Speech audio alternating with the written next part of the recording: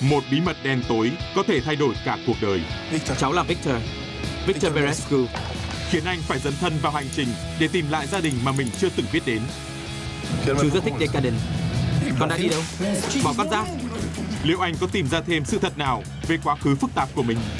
Tavi, Một câu chuyện về hành trình khám phá bản thân và những hậu quả không ai lường trước. Đón xem Roxanne trên kênh Cinema World.